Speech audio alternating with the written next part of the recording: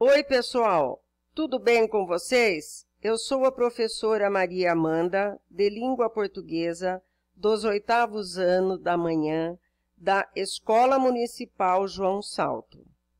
Vou orientá-los na atividade 1 da apostila 4. Fábula. A fábula é um gênero literário que usa uma linguagem simples, tem um formato curto e grande parte das vezes possui animais como personagens e apresenta uma moral, que é transmitir um ensinamento. Atividade 1. Fábula. Atividade adaptada. Apostila universitário. A. Mutuca e o Leão, de Monteiro Lobato. Cochilava o leão à porta de sua caverna no momento em que a mutuca chegou. Que vens fazer aqui, miserável bichinho? Some-te, retira-te da presença do rei dos animais. A mutuca riu-se. Rei? Não és rei para mim. Não conheço tua força. Não tenho medo de ti. Vai-te, excremento da terra. Vou, mas é tirar-te a prosa, disse a mutuca, e atacou-o. Atacou-o a ferroadas, com a tamanha insistência que o leão desesperou. Inutilmente, espojava-se e sovava-se a si próprio com a cauda ou tabefes da pata das patas possantes. A mutuca fugia sempre e, ora no focinho, ora na orelha, ora no lombo, fincava-lhe sem dó o agudo ferrão. Farta, por fim, de torturar o orgulhoso rei, a mutuca basofiou. Conheceste a minha força? Viste como de nada vale para mim o teu prestígio de rei, adeus. Fica-te aí a arder que eu vou contar a toda a bicharada a história do leão sovado pela mutuca. E foi-se. Logo adiante, porém, esbarrou numa teia, enredou-se e morreu no ferrão da aranha. São mais de temer os pequenos inimigos do que os grandes. Grande verdade! exclamou o menino. Um tigre é menos perigoso que certos micróbios. E aqui, na roça, eu só tenho medo de uma coisa: vespa. Nesse texto, vocês vão responder seis perguntinhas. Primeira, como se comportou o leão quando a mutuca chegou? 2. Como reagiu a mutuca diante da atitude do leão? 3. Qual foi a atitude da mutuca depois de atormentar o leão com suas ferroadas? 4. De nada valeu a mutuca cantar a sua vitória. Por quê?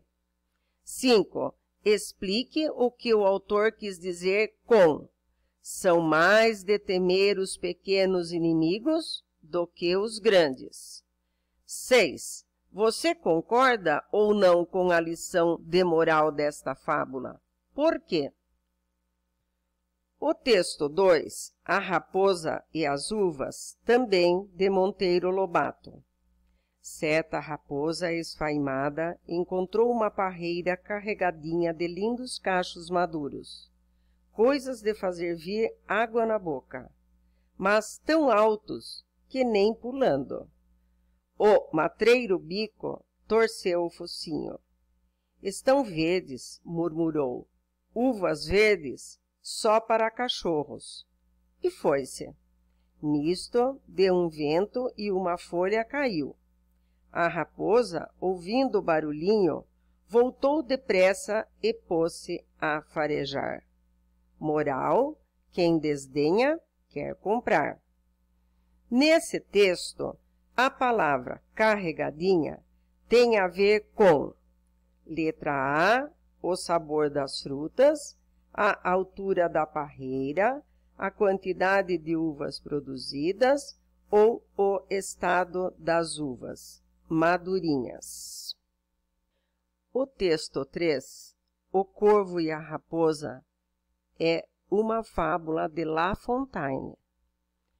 Um corvo, empoleirado sobre uma árvore, segurava em seu bico um queijo. Uma raposa, atraída pelo cheiro, dirigiu-lhe mais ou menos as seguintes palavras: Olá, doutor Corvo! Como o senhor é lindo! Como o senhor me parece belo!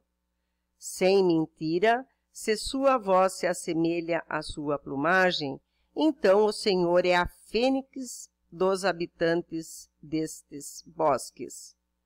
Diante dessas palavras, o corvo, não cabendo em si de contente, para mostrar a sua bela voz, abriu um grande bico e deixou cair sua presa. A raposa apoderou-se dela e disse, Meu caro senhor, aprenda que todo bajulador vive às custas de quem lhe dê ouvidos. Esta lição vale, sem dúvida, um queijo. O corvo, envergonhado e confuso, jurou um pouco tarde, é verdade, que ele não cairia mais nessa. No trecho para mostrar sua bela voz, abriu um grande bico e deixou cair sua presa, a raposa apoderou-se dela. As palavras em destaque referem-se alternativa A à voz, alternativa B ao bico, alternativa C à raposa, alternativa D ao corvo. Segunda, a verdadeira lição que fica desta fábula pode ser resumida em uma das alternativas abaixo. Assinale-a. Letra A. Os homens precisam aprender como proceder diante dos bajuladores. Letra B. O ser humano é vaidoso por natureza e gosta de ser cercado por aduladores. Letra C. O bajulador só consegue sucesso porque sabe enxergar a qualidade das pessoas. E letra D, o exibicionista se deixa iludir pelos elogios falsos. Façam um bom trabalho, crianças. Boa sorte. Um abraço a todos.